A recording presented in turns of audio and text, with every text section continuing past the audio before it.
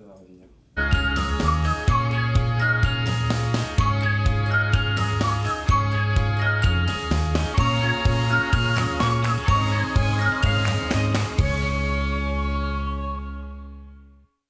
Cette fois-ci, c'est bon. Cette fois-ci, ça y est, on est à l'antenne. Euh, c'est bien la preuve qu'on est en direct. Bonsoir Félix. Bonsoir Sylvain. Bonsoir Julian. Bonsoir Sylvain. Julian de son vrai nom, Julien Duponchel. Vous Merci. avez meilleure mine, Julien, qu'hier soir. Ouais, mais c'est ce qu'on m'a dit. Hier soir, vous aviez un petit air de papier parce- mâché. C'est parce que vous m'aviez pas présenté, ça doit être pour ça. Alors, je vous représente Julien Duponchel. Julien Duponchel. Vous nous parlerez de quoi, Julien, ce soir? Bah, je viens avec vous, comme ça. Comme ça, parce que c'est sympa, l'ambiance est bonne en plateau. Exactement. Bon, ben, c'est ce qu'on vous disait, euh, mesdames. Euh, on va tout de suite euh, vous présenter. Félix a un beau plateau, une euh, belle émission, un programme riche, avec beaucoup ce soir de conseils pratiques. Oui, c'est le salon de l'étudiant demain au Parc Expo de Rouen euh, et on va parler justement d'orientation avec euh, Claire Gaborio, directrice d'idées orientation, et euh, sa collaboratrice euh, que vous allez présenter tout de suite, Sylvain. Oui, Cécilie Lavalade, je l'ai bien dit Tout à fait. Je l'ai bien dit. Et Bienvenue ensuite, à vous deux. Alors, bien sûr, ça, ça sera la première partie de l'émission. Il y aura bien sûr aux alentours de 18h30 euh, le point actu, le point info. Il vous sera présenté ce soir par Félix Bollez. Et puis ensuite, Félix, euh, à nouveau des sujets à la fois euh, étonnants, amusants et aussi conseils pratiques. Un réseau social encore, les Hauts-Normands sont très créatifs à ce niveau-là avec Dora Libénard qui vient nous présenter le réseau Member. Je Voilà. ne vous en dis pas plus pour Non. le moment. On parlera de- d'expo photos euh, dédiées aux Rouennais, la chronique sport, euh, le rituel du vendredi et la chronique des notaires en fin d'émission. Voilà, il y a tout pour euh, se préparer un bon week-end. Et mesdames et messieurs, comme ce soir, euh, Régis Legrand, le journaliste sportif de LCN, est dans les murs, je reprends sa formule traditionnelle. Chers amis d'LCN, mesdames et messieurs, l'émission La Quotidienne commence maintenant.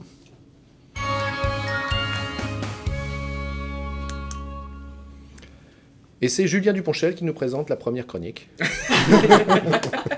Alors, il y a des jours où vous me donnez pas la parole et d'autres, c'est je dois parler tout le temps, c'est ça Vous n'avez pas de fiche euh, vous Mais vous- non, mais non, Vous je- débrouillez tout seul Mais non, mais Bon, alors donc, euh, ce n'est donc pas Julien Duponchel qui vous présente la première chronique. Non, plus sérieusement, parce que c'est un sujet qui est très, très sérieux. Euh, hier soir, en annonçant le sujet de ce soir sur l'orientation, j'utilisais ces mots en disant l'orientation, c'est une espèce de gros nuage noir dans lequel on ne sait pas trop naviguer, on n'a pas de moyens de radionavigation. Les jeunes sont de plus en plus perdus. Déjà, quand c'était pas la crise économique, on savait pas trop. Maintenant, il y a les effets effectivement qui pèsent sur certains métiers, certaines filières, certaines orientations qui disparaissent parce que l'économie est en train de changer.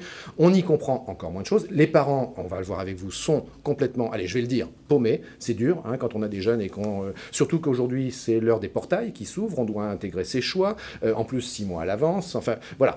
Euh, c'est le salon d'étudiants demain, samedi et après euh, dimanche. Et donc, Félix, voilà pourquoi on a voulu euh, faire un focus sur ces problèmes d'orientation pour vous donner des trucs, des conseils très pratiques.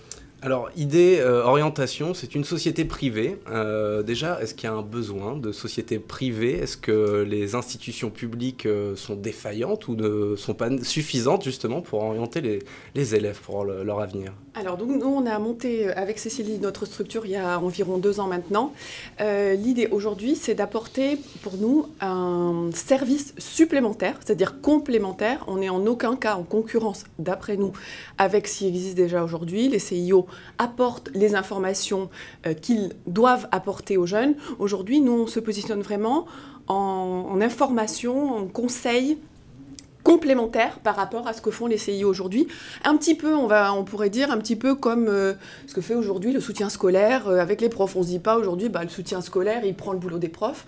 Pas du tout. Je pense pas. Donc bah voilà, nous on est vraiment sur ce créneau-là de dire en complément, pour certaines familles qui en ont le besoin, certains jeunes ou certaines familles, on vient répondre à une demande. Quelle est votre méthode justement pour aiguiller ces jeunes?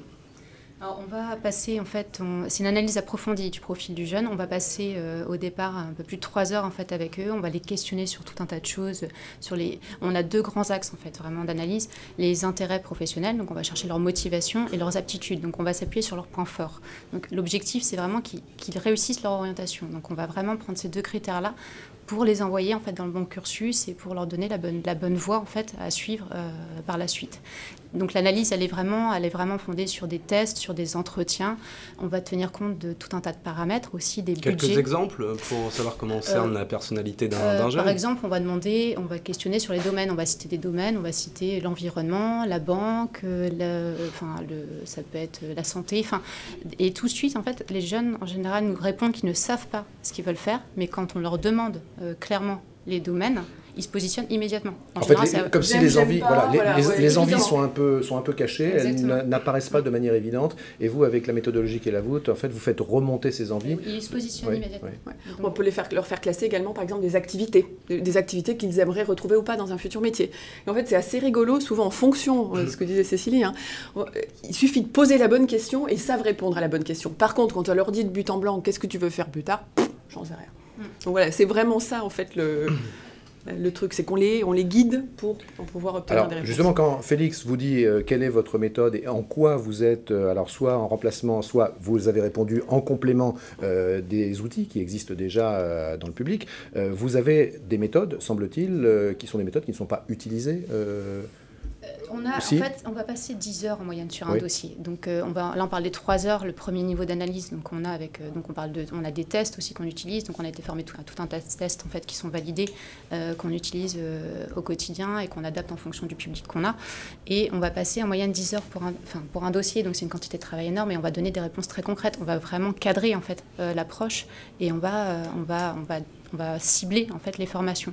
Donc c'est un travail qui est quand même assez important et, et tout le monde n'a pas forcément cette quantité-là de temps à fournir en fait pour un étudiant ou un jeune. Donc, euh, Par exemple, hein, pour donner un exemple concret, on va vraiment, pour choisir les formations, par exemple, donc après avoir fait une analyse approfondie du profil, on va aller regarder le bac que le jeune euh, fait ou a fait, on va regarder son niveau scolaire à partir des bulletins, à partir des résultats des tests d'aptitude également que, que, nous on leur fait passer.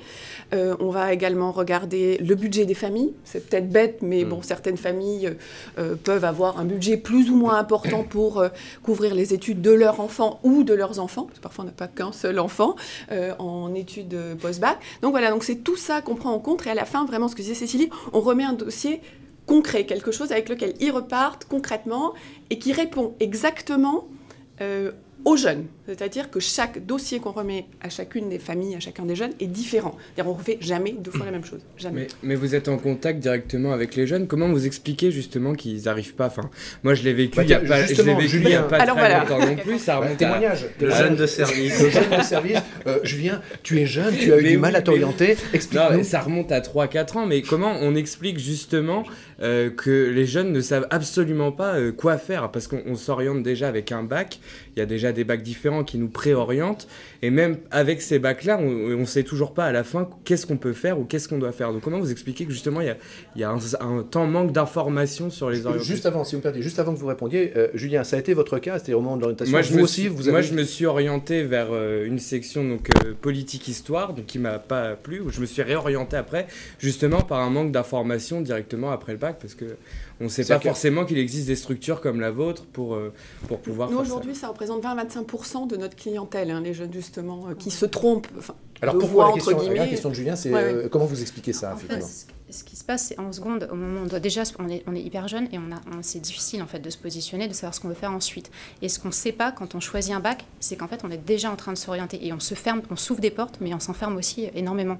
Et on sait souvent, enfin on a souvent, on n'a pas l'information de, des portes qu'on se ferme potentiellement quand on choisit un bac. Donc c'est vrai quand on a des cas de figure de troisième ou seconde, ça permet immédiatement d'avoir conscience de tous les domaines en fait sur lesquels on ne va pas pouvoir s'orienter ou s'orienter quand on fait son choix de bac. Donc on a des cas de figure où effectivement on va, on va orienter par exemple en fonction des métiers.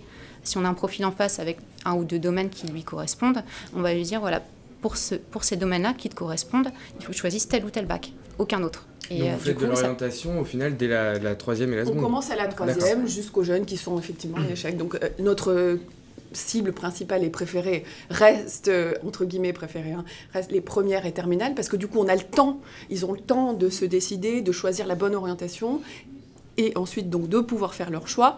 Euh, voilà. Après, effectivement, on peut commencer euh, à la troisième ou en seconde pour ceux qui n'ont pas encore choisi leur bac et pour qui ça peut être une difficulté parce que quelqu'un qui veut faire un bac S, un bac général et voilà qui ouvre quand même aujourd'hui, malheureusement, heureusement, je ne sais pas le plus de portes, c'est pas très grave. Effectivement, quand c'est plus compliqué, il faut il vaut mieux, hein, ce, que tu dis, ce, que, ce que dit Cécilie souvent, c'est vrai qu'il faut prendre le temps, il ne faut pas laisser faire le hasard.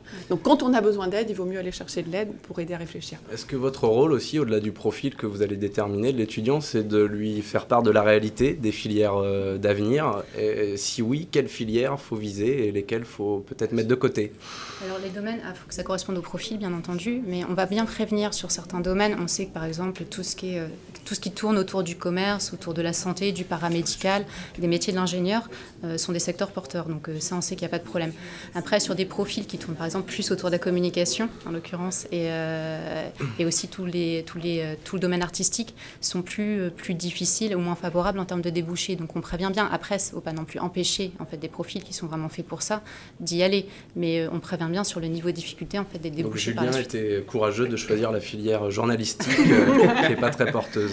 Oui, mais ça peut, ça peut tout à fait bien fonctionner après. Il ne faut pas non plus Merci, je suis rassuré. merci beaucoup. la preuve, il est là. Euh, merci beaucoup, Cécilie Lavalade. Si vous le voulez bien, on va bah, continuer et terminer avec votre collègue Claire Gaborio. Et puis, à votre place, on va, pour terminer ce sujet, accueillir Élise Martin-Dupont, qui est le commissaire euh, du Salon de l'étudiant de Rouen, qui a lieu euh, de demain jusqu'à euh, dimanche soir, et qui va apporter, merci beaucoup Cécilie d'avoir été avec nous, et qui va, bonsoir, il y avait un petit peu de difficultés de circulation, dites-moi. Un petit peu beaucoup. Oui, c'est un peu Rouen ça, hein, les difficultés de circulation. En tout cas, on est ravis que vous ayez trouvé le chemin jusqu'au studio de LCN.